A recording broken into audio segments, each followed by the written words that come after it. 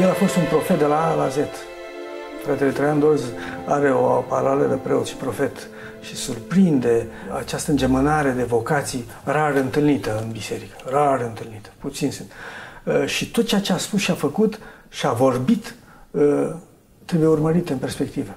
M-a frapat când m-am documentat în disertație ultimul lui articol. În, uh, în ziua de miercuri 9 februarie 1938 îi se confiscase tipografia, apărea în presă anunțul că oastea Domnului condusă de arhiepiscopie este legalizată după statutele făcute.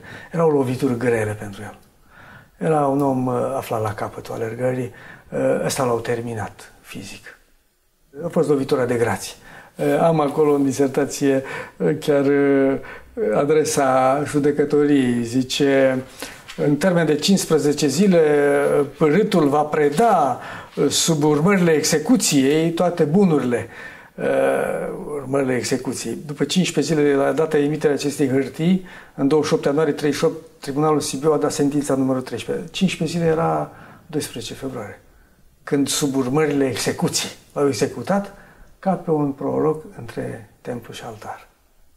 El a fost un profet, l-au executat uh, băieții și înainte de a muri face profeția asta. O zice, dragă Dors, vin o să scriu. El dicta, de-abia mai vorbea și fratele Traian scria. Așa apăreau articole. Și s-au scris articole la laptop, la el gâfâind 32 de kilograme, trupul acoperit de vată, îmbibat în sânge, ca pe cruce era. Și dacă Domnul pe cruce spune șapte cuvinte, asta e ultimul cuvânt al Părintelui Trifa, uh, pilda cu aia săracului de la 2 Samuel, capitolul 12, articolul, ultimului articol. Și acolo citesc uh, două fraze. David, încoronatul și unsul Domnului, avea o casă plină de femei. Și totuși lăcomia l-a făcut să revnească la o mireasă nouă.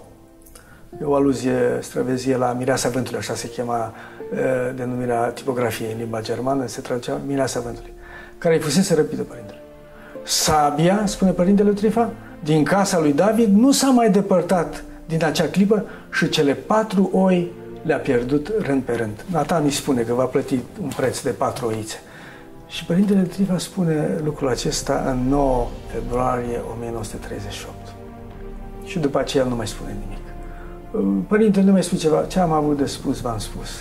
Găsiți în cărțile. Asta a fost ultimul cuvânt. A doua zi, 10 februarie, Carol al II-lea instaurează dictatura regală neamul românesc intră într-o jumătate de veac de întuneric.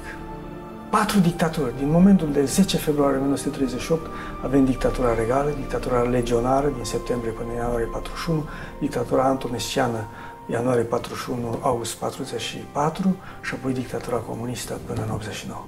Asta nu e uh, o coincidență sau fabulații. Asta e o profeție pe care profetul și-o rostește, nu ca să ne blesteme pe noi, ci vrea să spună ce pedeapsă va aduce Dumnezeu peste neamul românesc pentru că și-a ucis profetul. Voi aduce peste voi urgii toate cărțile Vechiului Testament.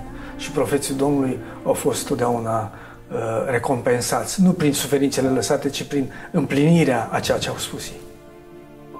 A costat pe el viața urmașului, Uh, ani grei de pușcărie, dar ăsta a fost adevărul. Tot neamul a suferit, pentru că mai mari biserici cu mai mari politici s-au uh, împăcat într-o sinfonie nefastă, sinfonie bizantină. Așa au făcut 1500 de ani, 1600 de ani și asta a dus la ceea ce am trăit în biserică și trăim și astăzi.